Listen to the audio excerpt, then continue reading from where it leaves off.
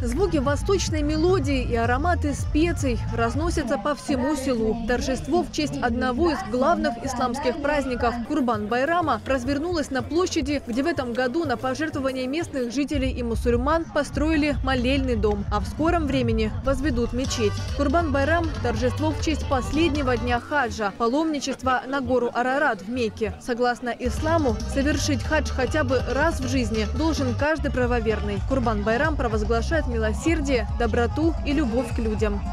Сегодня мы здесь отмечаем Курбан Байрам. Это великий праздник мусульман. И я смотрю, сегодня очень много гостей.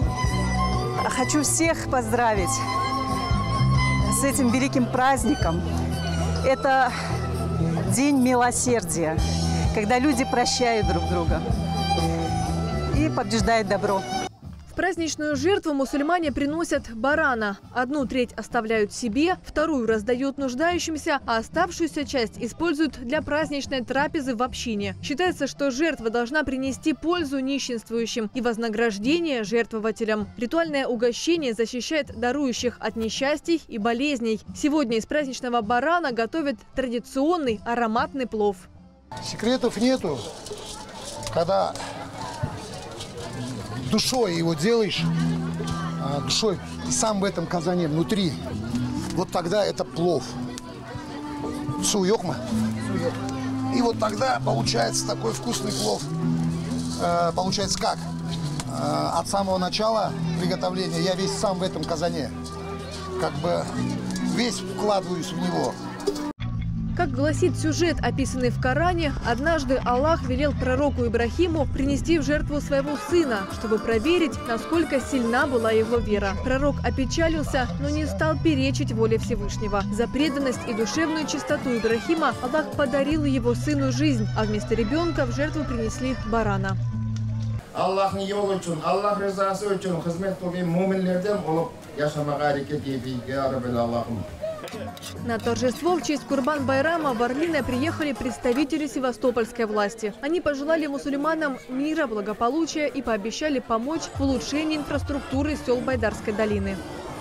Я думаю, что и в ближайшее уже короткое обозримое будущее мы много сможем преобразить вот в этих прекрасных деревнях, в этих селах, где должны появиться детские площадки, и асфальтированные дороги. И это не какие-то обещания, конкретный план, который уже положен на бумагу, который мы будем воплощать.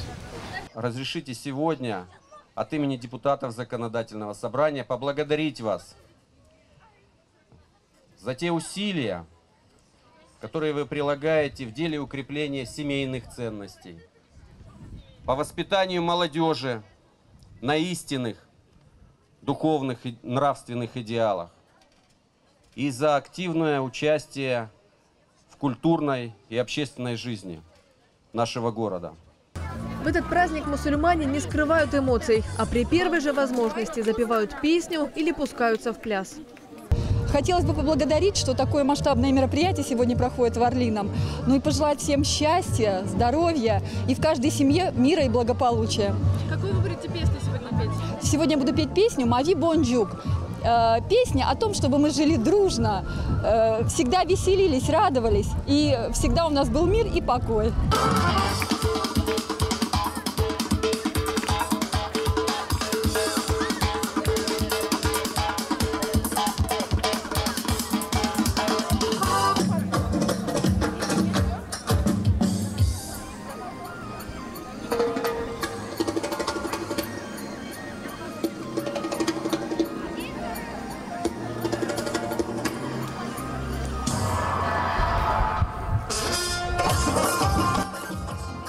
Маргарита Чернуха, Дмитрий Лелека, Севинформбюро.